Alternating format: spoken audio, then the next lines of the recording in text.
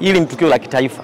Toka Tanzania ipate uhuru kulikuwa haku- hakujawahi kutokea treni ya umeme Tanzania. Hii ni mara ya kwanza. Kwa kweli tunashukuru serikali ya awamu ya sita chini ya Mheshimiwa Dr. Samia Suluhu Hassani, Wizara ya Uchukuzi, shirika la reli walichokifanya hiki ni kikubwa sana.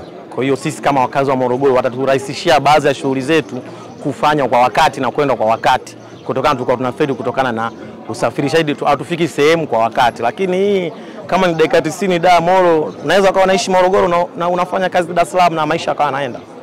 Kwa hiyo wito wetu kwa serikali, kwa kweli walichokifanya ni kikubwa sana, ila miundombinu yani iboreshwe. Kama nimesikia mkurugenzi anasema kwamba umeme wa hii wa hii wa hii treni kwamba hai- haihusiani na umeme tunaotumia sisi majumbani, basi inabidi waboreshe miundombinu tu ya umeme usikate, yani uendelee kuwepo, yani treni ikiwaka imewaka.